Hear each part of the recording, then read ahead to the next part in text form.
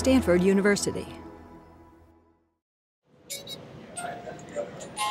I find a fantastic connection between science education and global health is the fact that you have to, you're forced to design robust tools for a five to a 10 year old kid, and that's the exact same tools that might actually save somebody's life from a context of global health.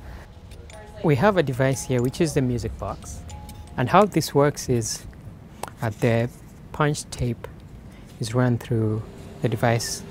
We took this platform I looked at the gear pins and uh, realized uh, we could drive fluids with this. With the presence of a hole, the gear pin rotates and interfaces with the channel. So as it turns, it pushes the fluid forward. So the idea is very simple. First of all, uh, we build many different types of fluidic chips. This is a technology that's been around now for several years. One of these chips essentially plugs in into my punch card tape and what it enables suddenly is a way such that I can encode and run this punch card tape. It passes through the device, it reads all this information, but implements that directly on the mechanism in the fluidic channels.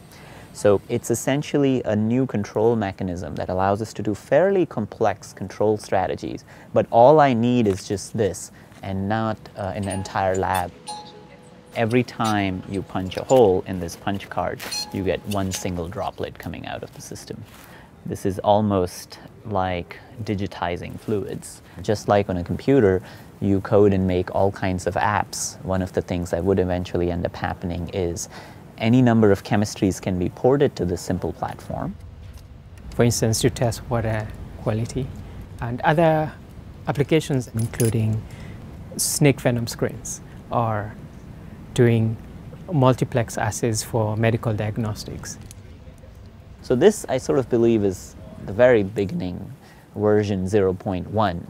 Uh, and what it allows us to do is then build on the complexity of this, but at that same time, keep these objects robust. It's really democratizing chemistry and just doing it out there without the need for all the infrastructure that's lacking in so many places in the world.